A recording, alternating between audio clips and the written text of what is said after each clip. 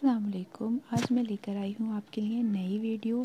आप अपने उषा मशीन में ट्विन नीडल का यूज़ कैसे कर सकते हैं? तो चलिए शुरू करते हैं।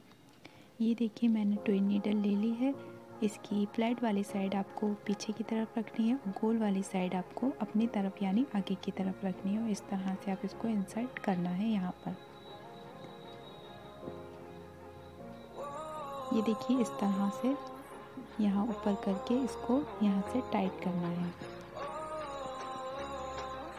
जितना हाथ से टाइट हो जाए, उतना हाथ से कर लें। बाकी आप एक स्क्रू ड्राइवर की मदद से, जो कि मशीन के साथ ही अवेलेबल होता है, उससे आप इसको टाइट कर लें और नीडल को नीचे करके देखें। कहीं ये टकरा तो नहीं रही, इस तरह से हैंड व्हील को यूज़ करते हुए आप नीडल को नीचे कर कर देख सकते हैं। और अगर आपको लूज़ लगती है तो आप इसको थोड़ा सा और टाइट कर सकते हैं।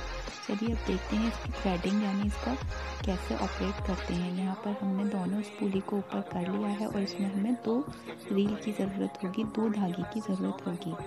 ये देखिए आप। इस तरह से आप पहला धागा लें और जैसे कि हम अपना धागा लगाते हैं सेम उसी तरह से आपको कुछ नहीं करना, उसी तरह से आपको इसमें धागा लगाना है। और इस धागे को नीचे इधर राइट हैंड साइड पर लगा देना है। अब आपको दूसरा धागा लेना है इसी तरह, बिल्कुल इसी तरह जैसे आपने पहला लिया था।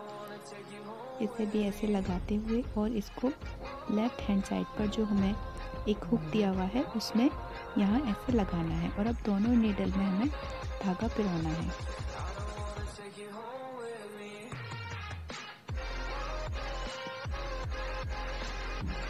ये देखिए, मैंने धागा पिरो लिया है।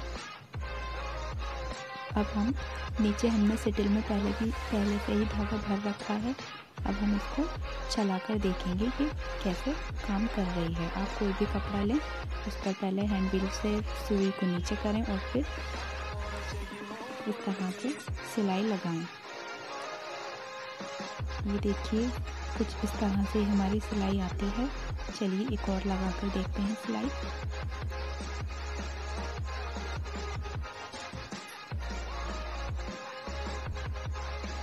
ये देखिए, हमारी सिलाई लग चुकी है। कुछ इस तरह से ही हमारी फ्रंट से लगती है और बैक से भी मैं आपको दिखा देती हूँ कैसी लगती है ये।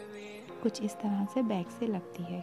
अगर आपको ये वीडियो हेल्पफुल लगे तो प्लीज़ इस चैनल को सब्सक्राइब करें लाइक करें, अपने दोस्तों में शेयर करें। Thank you for watching